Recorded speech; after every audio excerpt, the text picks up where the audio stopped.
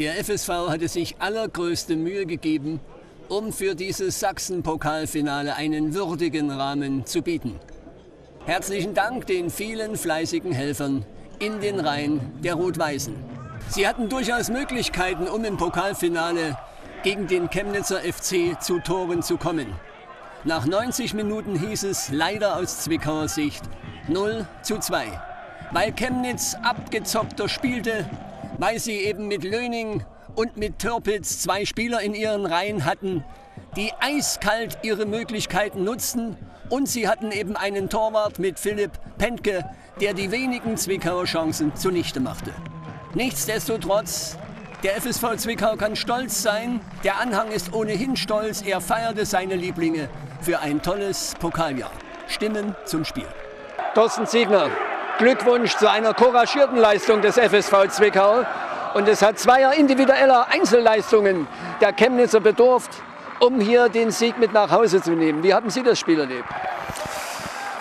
Ja, ähm, ich fand, wir waren, wir waren insgesamt zu ängstlich. Wir hätten, wir hätten von Anfang an mutiger sein können. Ähm, ich denke, die Jungs die haben sich extrem viel vorgenommen, haben das als realistische Chance äh, gesehen, heute den Pokalsieg hier zu holen aufgrund unserer äh, klasse Saison, die wir bis dato gespielt haben. Und äh, haben sich dort nicht unberechtigt Hoffnung gemacht. Fest steht aber auch, dass man, äh, wenn man Chemnitz schlagen möchte, dann eben äh, über 90 Minuten auf der Hut sein muss, dass man dem eben äh, vor allen Dingen gedanklich keine Möglichkeiten geben darf und die paar Möglichkeiten, die man hat, dann eben konsequenter nutzen muss. Und das haben wir eben nicht getan und dementsprechend äh, auch verdient 2 zu 0 verloren. Herzlichen Glückwunsch, Pokalsieger 2015, der Chemnitzer FC. Aber ich glaube, es war ein ganz, ganz hartes Stück Arbeit heute hier im Sportforum in Zwickau.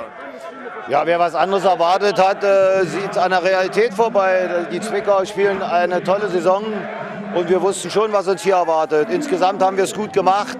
Natürlich haben die äh, Zwickau auch ihre Möglichkeiten gehabt und äh, wir haben zwei Tore.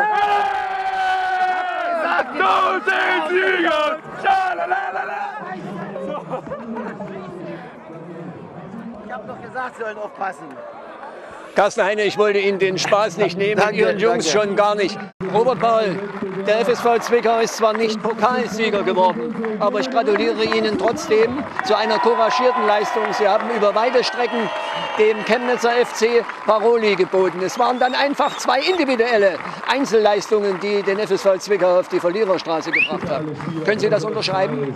Ja, so ist es. Nach anfänglichen Schwierigkeiten, wo wir ein bisschen verunsichert waren, gerade ich auch, dass die eine Aktion da, haben wir ein gutes Spiel gefunden, haben auch keinen Respekt gezeigt. Ich denke, die Chemnitzer hatten Probleme mit uns.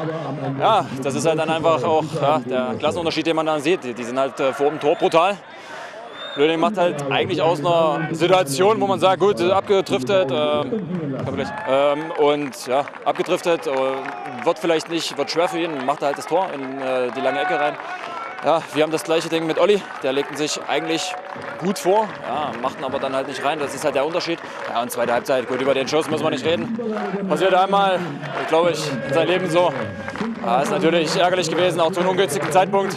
Hatten zwar dann noch die Chancen, bei der Ecke gut gehalten, ja, aber nichtsdestotrotz muss ich einfach ein Riesenlob an die Truppe aussprechen. Es ist halt dann auch ein Stück weit, ja, ja sehr, sehr anstrengend zum Ende in der Saison.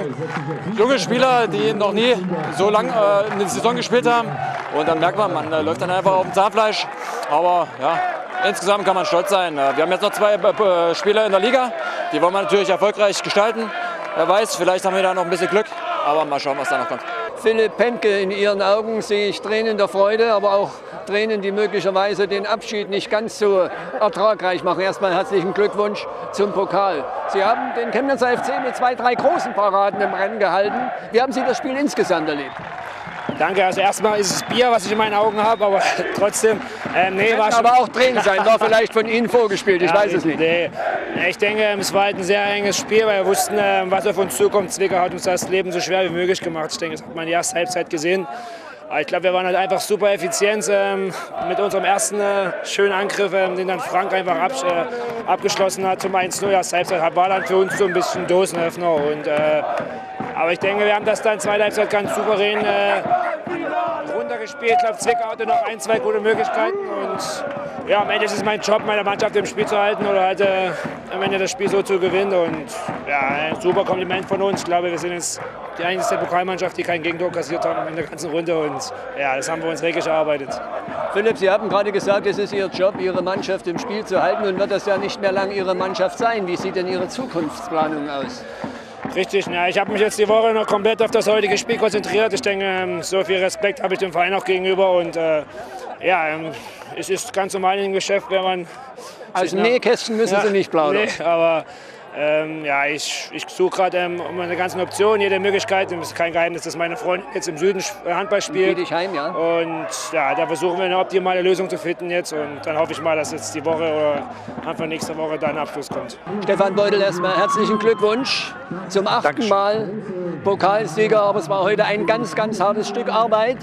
Und es hat zweier individueller Einzelleistungen bedurft von Löning und von äh, Türbitz, dass der Chemnitzer FC hier beim FSV Zwickau bestanden hat. Wie haben Sie das Spiel gesehen? Ich habe es ähnlich gesehen, aber es hat uns nicht verwundert. Wir haben uns darauf eingestellt, dass wir beim FSV Zwickau auf einen ganz starken Gegner, der hier zu Hause um sein Leben rennen wird. Und das haben sie getan, die haben gut gespielt. Ich denke, dass wir so ein bisschen die reifere Spielanlage haben und sicherlich vielleicht auch ein bisschen mehr Qualität in den Einzelpositionen haben. Die haben heute, wie Sie schon gesagt haben, den Ausschlag gegeben. Ich denke, das zweite Tor, das hat allen gefallen, auch wenn sie nicht für den CFC waren. Also von daher alles gut. Wir sind froh, dass wir das gepackt haben.